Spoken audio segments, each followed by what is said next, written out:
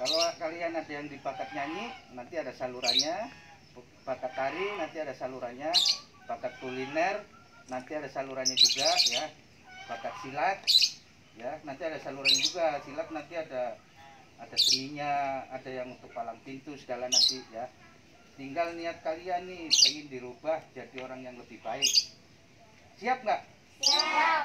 Benar? Nah, ini selayar-selayar ini ini sudah mengandung asma, sudah ada ilmunya. Jadi nanti kalau sudah itu dirapiin, ya, dirapiin. Nah ini hari ini perkenalan lingkungan. Nanti kita start dari sini ke rumah Luna ujung dulu, ya kan? Nanti setelah dari ujung nanti balik ke sini kan? Ini setelah rumah Bang Rohim, rumah kamu. Nanti masuk gang sampai ke musola tuh sampai ke ganggang terus sampai tembus ke Bang Maja ya ke Bang Maja tuh nanti masuk ke ganggang sampai mentok musola yang ujung lagi ya kan? Nanti balik kanan terus lewat jalanan ya kan?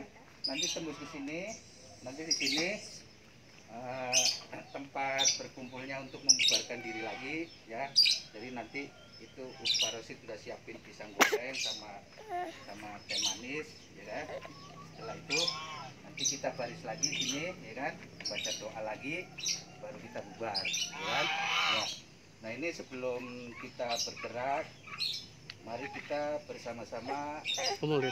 Ya. kirimkan doa untuk para arwah yang telah mengendalui kita itu terutama arwah-arwah yang mempunyai jurus nanti nanti kalian kan mau dikasih jurus tuh nah jurus ini kan dulu diciptakan oleh pendahulu-pendahulu kita makanya kita doakan supaya beliau-beliau itu yang punya jurus ya supaya diterima di sisi Allah Subhanahu wa taala.